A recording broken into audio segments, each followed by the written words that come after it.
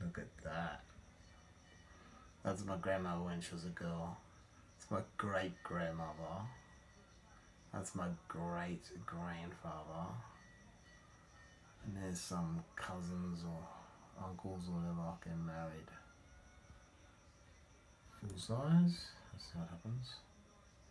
Colour. Oh, wow. Pretty cool.